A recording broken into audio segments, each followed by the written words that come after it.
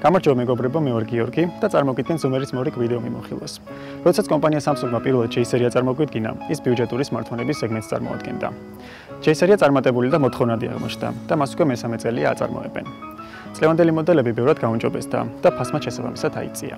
დღეს მოდით ახალი J-სერია განვიხილოთ და ვნახოთ რა აქვს მათ საერთო და რით განსხვავდებიან ისინი ერთმანეთისგან. დავიწყოთ. სამივე smartphone-ის ვიზუალური მხარე მათი წინამორბედებისგან განსხვავებით ბევრად გაუმჯობესდა. корпуსი ახლა მთლიანად მეტალისგან არის დამზადებული, რის გამოც smartphone-ების ხელშეჭერის დროს ძვირადღირებული smartphone-ის შთაბეჭდილება გრჩებათ. ეკრანს მომრგვალებული კუთხეები აქვს და მის გარშემო პატარა ჩარჩოები. ზოგადად ბიუჯეტური smartphone-ის ყიდვისას მაღალ აწყობის ხარისხს არ უნდა ველოდოთ, მაგრამ ამ შემთხვევაში აწყობის ხარისხი და დამზადების მასალაც უმაღლეს დონეზეა. ყველაზე უმცროსი მოდელი J3. მისი ეკრანის ზომიდან გამომდინარე საკმაოდ კომპაქტურია. ეკრანის ზომა 5 ინჩიანია, 1280-720-ზე გაფართოებით. ვერ ვიტყვით, რომ ეკრანი ცუდი ხარისხის არის. პირიქით ის ძალიან ნათელია და კარგი ხედვის კუთხეები აქვს, მაგრამ დახრის დროს ცოტა ფერებს იცვლის. პიქსელების რაოდენობა 1 ინჩზე კი 294-ს შეადგენს. თავის ფასთან მიმართებაში, რომელიც ამჟამად 500 ლარს შეადგენს, ტექნიკური მახასიათებლები გაოცებას არ იწვევს. ჩიპსეტი 4 ბირთვიანი 75-70-ია. ოპერატიული მეხსიერება 2 გიგაბაიტი აქვს, ხოლო შეთამეხსიერება 16. smartphone-ი სტაბილურად მუშაობს. აპლიკაციების გახსნა შეუფერხებლად ხდება. multitasking-იც სწრაფია. ძლიერ თამაშებს თავს ვერ არტმევს, მაგრამ დროის გასაყვან მარტივ თამაშებს უპრობლემოდ უკვლავდება. რაც გაოცებას იწვევს ეს Android-ის ვერსიაა.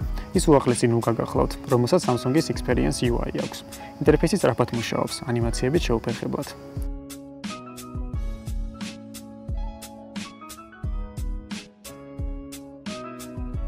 ალბათ ბიუჯეტური smartphone-ის ყიდვისას კამერისგან ბევრს არ უნდა ველოდოთ, რადგან მასში ფლაგმანურ მონაცემებს ვერ შეხვდებით. J3 კამერა 13 მეგაპიქსელიანია, 1.7-იანი დიაფრაგმით. ფოტოს ხარისხი გაგიკვირდებათ და კარგია. დეტალიზაცია მაღალია, დინამიური დიაპაზონი ნორმალური. ვიდეოს გადაღება მხოლოდ Full HD გაფართოებით შეუძლია 30 FPS-ით. სამწუხაროა ის ფაქტი, რომ საღამოს გადაღების დროს ფოტოსა და ვიდეოს ხარისხი დაბლა ეცემა. დეტალიზაცია იკარგება და ბევრი გრეინი შეინიშნება. წინა კამერას ბონუსის სახით ღამის განათება აქვს, რომელიც საღამოს გადაღების დროს დაგეხმარებათ. კამერა 5 მეგაპიქსელიანია, 2 და 2-იანი დიაფრაგმით. ფოტოს ხარისხი ნორმალურია და სოციალური ქსელებისთვის სრულად საკმარისია. კამერის ინტერფეისში პრო რეჟიმს შევხვდებით, თუმცა მხოლოდ ISO-ს, თეთრის ბალანსისა და ექსპოზიციის რეგულირებაა შესაძლებელი. ელემენტი 2400 მAh-იანია და ის დაახლოებით 1 სამუშაო დღე გეყოფათ. J3-ისგან განსხვავებით, J5 და J7 ერთმანეთს გავს და ერთი შეხედვით ერთმანეთისგან გარჩევა რთულია, მაგრამ Samsung-ისგან ეს არ უნდა გაგიკვირდეთ. ვიზუალური მხარე იდენტურია, თავი სხვაობა ეკრანის ზომაა, მაგრამ მასზე მოგვიანებით ვისაუბრებთ. გარედინამიკმა როგორც ასერიაში მარჯვენა მხარეც გადმოინაცვლა, რასაც ორი აზრი აქვს. ერთის მხრივ მაგი დაზიდების დროს ხმა არ იხშობა და ჟღერადობა ბევრად მაღალია. მეორეს მხრივ კი ჯიბეში დების დროს დინამიკი ძირითად შემთხვევაში იფარება და ხმა იკარგება. ქვედა მხარეს მიკროფონი, მიკრო USB შესაერთებელი და ყურსასმენის ჯეკი განთავსდა, მაგრამ ყველა სხვადასხვა დონეზეა. ეს არც თუ ისე ლამაზია და პერფექციონისტების кошмарია. ეკრანი უფროს მოდელში Full HD გაფართოების გახლავთ, მაქსიმალური ხედვის კუთხეებით, ხოლო J5-ში HD. დამზადების ტექნოლოგია AMOLED-ია. განათება დღისშუგზე არც თუ ისე საკმარისია და გასაკვირია, რატომ ამოიღო Samsung-მა ეგრეთ წოდებული მზის რეჟიმი, რომელიც 15 წუთის განმავლობაში ეკრანს უფრო ნათელს ხდიდა და მზეზე იდეალური ხილვადობა ჰქონდა. გასაკვირია ასევე ის, რომ Always On Display, რომელიც გათიშულ ეკრანზე საათს აჩვენებს, მხოლოდ J7-შია, რადგან J5-საც AMOLED-ის ეკრანი აქვს. მეორე სხვაობა ტექნიკურ მახასიათებლებშია. ჩიპსეტი ორივე მოდელს 8 ბირთვიანი Exynos 75-70 აქვს, როგორც გასული წლის J7-ში. სინთეტიკურ ტესტებში ციფრები არც თუ ისე მაღალია, მაგრამ ორივე smartphone იდეალურად ართმევს თავს როგორც ინტერნეტში მუშაობას, ასევე ფილმის ყურებას და თამაშების დროსაც კი. J5-ის ოპერატიული მეხსიერება 2 GB-ს შეადგენს, J7-ის კი 3 GB-ს. შთამეხსიერება ორივე მოდელს 16 გიგაბაიტი აქვს, რაც რეალურად ცოტაა. თუმცა ორივე მოდელს microSD ციფრული სლოტი აქვს და მისი მეშვეობით 256 გიგაბაიტამდე შეგიძლიათ მეხსიერების გაზრდა. Android-ის ვერსია აქაც უახლესია, Experience User Interface-ით.